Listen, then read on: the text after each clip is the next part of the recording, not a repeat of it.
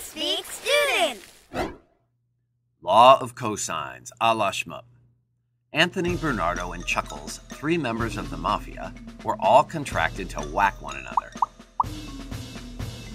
They all ended up in the same place at the same time, and next thing they knew, they were trapped in a brutal standoff.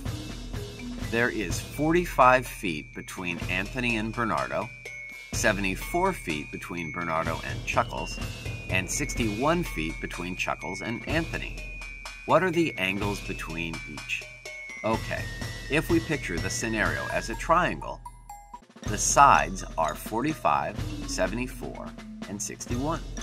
Given three sides of the triangle, we'll need to figure out the angles with the law of cosines. The law of cosines tells us that a squared equals b squared plus c squared minus 2b times c times cosine of the angle A. Before we plug in all the values we know, let's isolate what we're solving for, and that's the angle A. Subtract a squared and add 2bc cosine a to both sides of the equation to get 2bc cosine a equals b squared plus c squared minus a squared. Then divide both sides by 2bc to get cosine a equals b squared plus c squared minus a squared all over 2bc. To isolate the angle, we can take the cosine inverse of both sides, and when we do, we end up with the angle A equals the cosine inverse of b squared plus c squared minus a squared all over 2bc.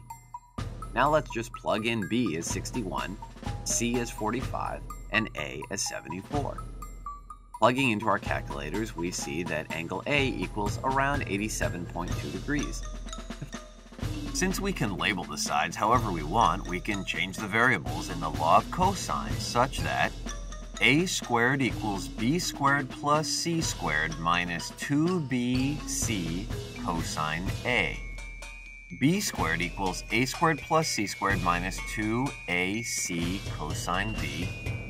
And c squared equals a squared plus b squared minus 2ab cosine c. Da, all work. To find angle b, we can use the law of cosines again, from our original triangle, we know that A equals 74, C equals 45, and B equals 61. So we can plug these into our formula. And we find that B equals around 55.4 degrees. We can find the last angle with law of cosines, but there's an easier way. We know that all the angles in a triangle total 180 degrees, so we can just take 180 degrees minus 87.2 minus 55.4 to find angle C, which gives us 37.4 degrees. However, it's going to take more than a basic understanding of cosines to get Anthony, Bernardo, and Chuckles out of their pickle. They might be here for a while. Good thing somebody ordered pizza.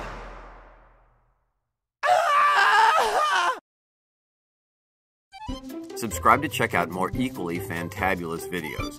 You should see the subscribe button just below this one.